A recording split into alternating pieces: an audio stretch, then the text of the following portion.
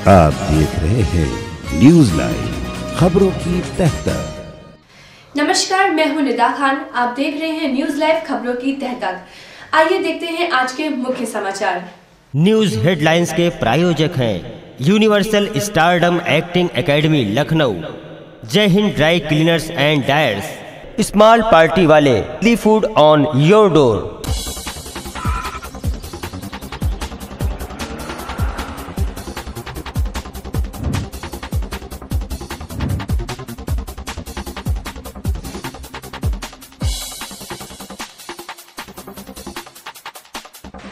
Van Mahotsav सप्ताह एक जुलाई से सात जुलाई के मध्य मनाया जाता है। इसी के अंतर्गत उत्तर प्रदेश सरकार ने 25 करोड़ वृक्षारोपण मिशन 2020 के तहत आज कुकरेल स्थित पिकनिक स्पॉट में मुख्यमंत्री योगी आदित्यनाथ ने वृक्षारोपण कार्यक्रम का आयोजन किया। उन्होंने कहा कि अब तक पाँच करोड़ तीस लाख से अधिक वृक्ष उत्तर प्रदेश में लग चुके हैं और निरंतर वृद्धि हो रही है। यह शासन के प्रति आमजन के विश्वास को प्रदर्शित करता है। साथ ही साथ हम अपने पर्यावरण के प्रति भी कितने जागरूक हैं। इसका भी बेहतर उदाहरण आज यह कार्यक्रम प्रस्तुत कर रहा है। उन्होंने कहा कि शुद्ध वायु और जल संचय का स्रोत है वृक्ष वनों का संरक्षण एवं संवर्धन, राज्य सरकार की प्राथमिकता है। प्रदेशवासियों से अपील की है कि पौधरोपण कर प्रदेश को हरा भरा बनाने में सहयोगी बने। लखनऊ से न्यूज़ लाइव संवाददाता अनिल यादव की रिपोर्ट। होनी चाहिए। विगत वर्ष हम लोगों ने 9 अगस्त को यह कार्यक्रम संपन्न किया था और मुझे प्रसन्नता है कि मैं विगत वर्ष ही कहा था कि कार्यक्रम हमारा वन महोत्सव के दौरान होना चाहिए। वन महोत्सव एक से सात जुलाई के बीच में संपन्न होता है और वन महोत्सव के अवसर पर आयोजित होने वाले इस कार्यक्रम में आज इतने बड़े पैमाने पर वृक्षारोपण का जो ये कार्यक्रम संपन्न हो रहा है, मुझे अत्यंत प्रसन्नता है कि देर शाम तक हम लोग 25 करोड़ का लक्ष्य प्राप्त करेंगे।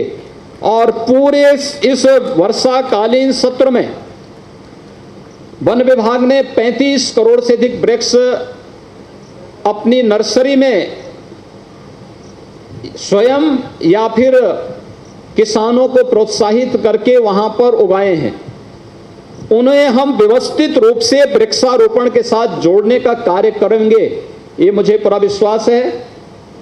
इसके साथ ही बहुत सारी चीज़ें इस बार नए सिरे से देखने को मिल रही हैं। खासतौर पर कोरोना कालखंड के दौरान आदरणीय प्रधानमंत्री जी ने पीएम पैकेज की घोषणा की। पीएम पैकेज में कृषि के लिए भी एक बड़ा,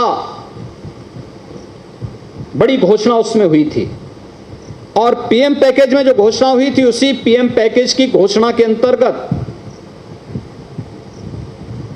हर्बल प्लांट लगाने की तैयारी गंगा और गोमती के तटवर्ती क्षेत्रों में बृहद पैमाने पर फलदार वृक्षारोपण करने की तैयारी न केवल वन विभाग, बल्कि उद्यान विभाग भी इसके साथ जुड़ करके इस कार्यक्रम को तेज़ी के साथ आगे बढ़ा रहा है।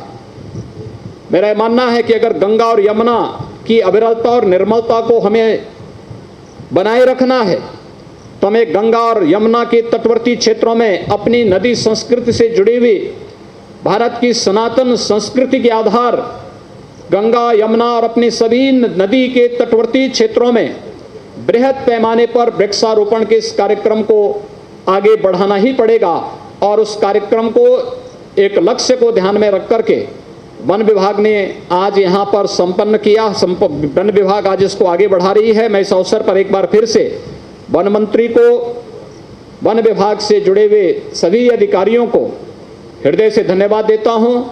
आप सभी सुधीजनों को, जिन्होंने कोरोना कालखंड में भी प्रकृति और अपने पर्यावरण के प्रति इतनी जागरूकता दिखाई है, आप सबका मैं हृदय से अभिनंदन करता हूँ। आप सबको एक बार फिर से गुरु पूर्णिमा और वन महोत्सव की हार्दिक बधाई देते हुए अपनी शुभकामनाएँ देता हूँ। धन्यवाद। जय हिंद।